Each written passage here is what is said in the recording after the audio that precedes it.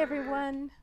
I know it's been a long time, and uh, there are a lot of good reasons for that, uh, which I won't get into, but I will tell you that uh, the last episode we did, if you haven't seen it, you should, uh, had to do with a purchase that I made over a dozen years ago that uh, Mike followed up on research. I, I bought it thinking it was Audrey Hepburn's. And not only was it Audrey Hepburn's, but it was Audrey Hepburn's in Breakfast at Tiffany's. So we had an auction about six weeks ago at Julien's, and I'm going to tell you what the result is in a second. But before I do, I want to give you some updates. You know, those of you that like this channel like it for a multitude of reasons. You could either be vintage clothing aficionados, you like to wear it, you could be collectors or treasure hunters. I really want to emphasize the importance of following your passion not just by acquiring beautiful things, but also educating yourself as to what you might be looking at. By going to museums, reading books, going to other vintage clothing stores, looking at beautiful things, seeing that they're expensive, and asking in a very polite way, why is this piece as valuable as it is? Uh, I mean, it's really tone and delivery. Like, why is this so much? No, that doesn't work. But um, if you educate yourself, you may surprise yourself in finding things that are 10 to a thousand times more valuable than what you had to pay for. Why am I telling you this? Because I paid less than $200 for this Audrey Hepburn dress uh, a dozen years ago. I had a suspicion. There were all these clues in the garment. There were, um, there was the Givenchy Haute Couture label, which that alone was a no-brainer. Um, it was a small size, and we all know that Audrey Hepburn was very petite.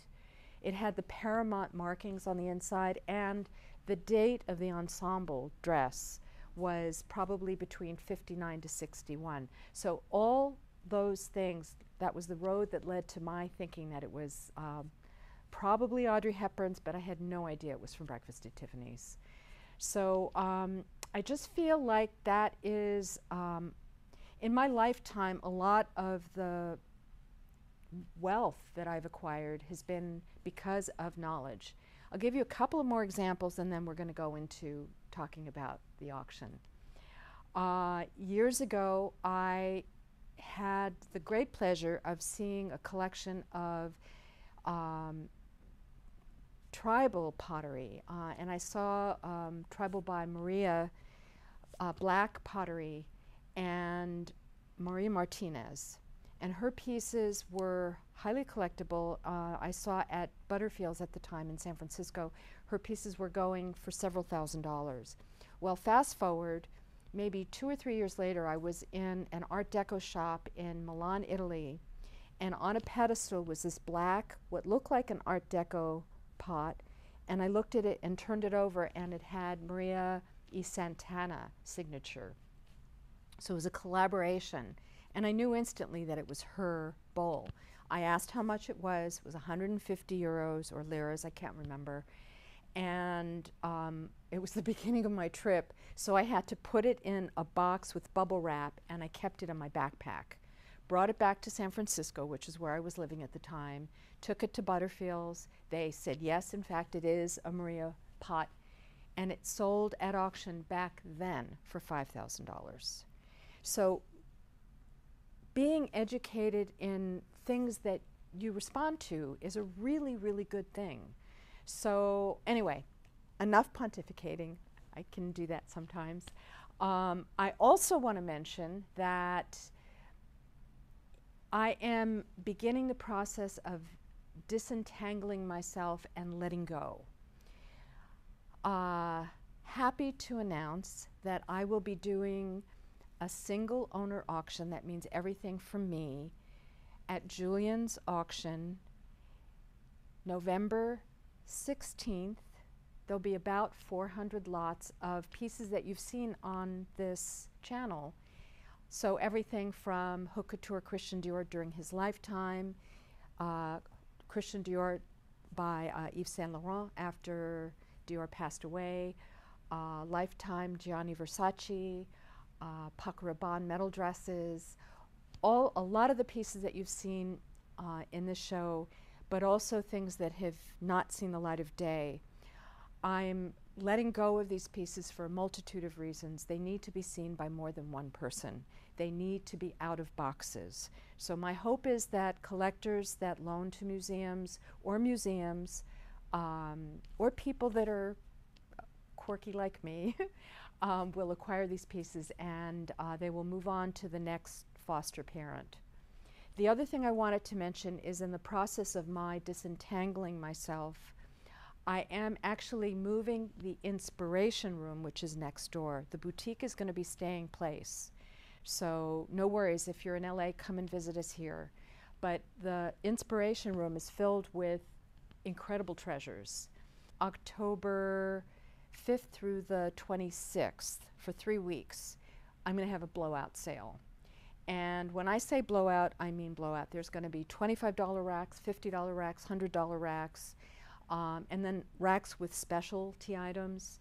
Um, it's not going to be um, online, unfortunately, because there's going to be hundreds, if not thousands, of items costume jewelry, shoes, things like that. So if you happen to be in LA in that time period, absolutely positively get your tushies down here because there's going to be some really great deals. There's a lot of pieces that I've had for over 40 years, and it's just time for me to clear it out. So um, I look forward to hopefully seeing you, meeting you during the sale. And if you have any questions, message us either through the website or give us a call. But on to the major reason why we're doing this episode, and that is to talk about the sale of the Audrey Hepburn dress. I have no idea who bought it. Um, I'm very happy to let you know that the dress sold for over $150,000. That is kind of probably a once in a lifetime profit margin. but um, I'm totally and completely thrilled and honored and grateful that um, I've gone through this entire process from purchasing to selling, and I wanted to share it with you. So, I hope you like this episode. Um, we have dresses on the mannequins that are very Audrey like, uh, very Breakfast at Tiffany's like. So, if you're curious and are interested possibly in acquiring any of these pieces, please let us know. Otherwise, um, hoping to be able to do an episode before the auction, my single owner auction, um, but in the meantime, please be patient with me because there's a lot going on right now. And um, I look forward to seeing you next time. If you like this episode, give us a thumbs up. And if you haven't subscribed, please do so. And we look forward to seeing you next time. Be safe and be well. Thank you.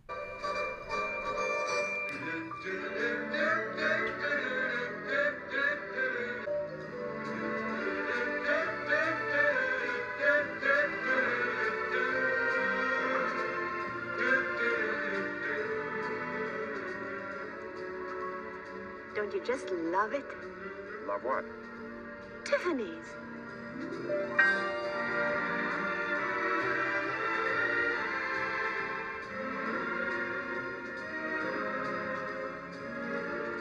Isn't it wonderful? Do you see what I mean? How nothing bad could ever happen to you in a place like this? It isn't that I give a hoot about jewelry, except